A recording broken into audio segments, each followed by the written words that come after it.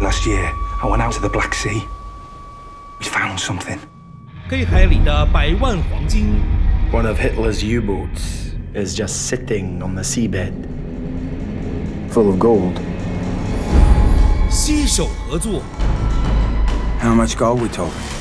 $182 million. Dollars.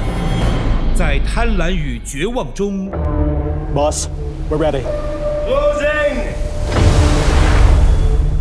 It's so unfair that they get the same as us. What happens when one of them starts to figure out that their share gets bigger and there is less people to share it with?